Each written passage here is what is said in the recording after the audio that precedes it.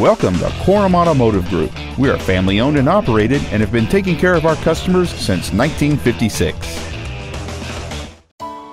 This is a 2010 Hyundai Elantra.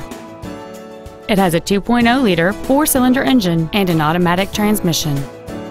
Its top features include a sunroof, cruise control, a rear window defroster, a CD player, fog lamps, a traction control system, an anti-lock braking system, and this vehicle has fewer than 17,000 miles on the odometer.